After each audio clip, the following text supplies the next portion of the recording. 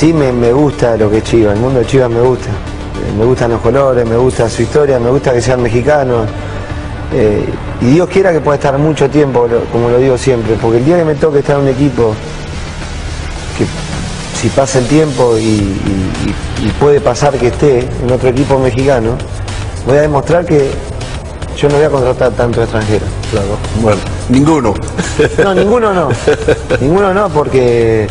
eh, pero yo creo de verdad en el futbolista mexicano. eh, pero creo de verdad por su formación. Creo de verdad porque llegan a la primera bien formados técnicamente, tácticamente. El fútbol mexicano ha crecido.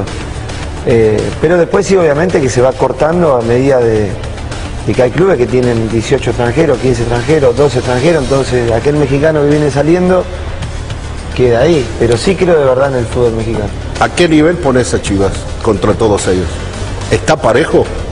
Yo digo que eso es depende cómo se mire. Para mí sí está parejo. Está parejo porque nosotros hemos ganado un respeto de todos esos rivales con respecto a cada vez que nos enfrentan eh, y cómo lo juegan. Entonces digo, nos están respetando. Hemos logrado ese respeto futbolístico.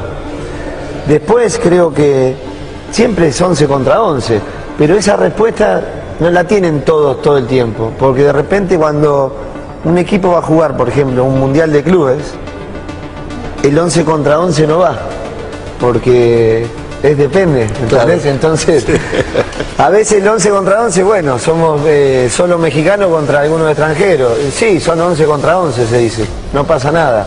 Ahora, cuando esos 11 contra 11 van a jugar afuera, y, o una final de Libertadores, también es 11 contra 11. Entonces yo creo mucho en mi equipo. Le pregunté al turco y le dije lo mismo que te voy a decir ahora. No quiero una respuesta política. Sí. Él me dijo de que su equipo estaba para salir campeón. ¿Para qué está Chivas? para pelear también. Porque decir que sos campeón antes de cuando va una fecha es irreal, estaría mintiéndole a toda la gente. Estamos para dar pelea y con la ilusión, eso sí, estamos ilusionados eh, con alma y vida que queremos, queremos ganar, queremos ganar todos los partidos. Eh, y mientras uno tenga la ilusión en la vida, va a creer.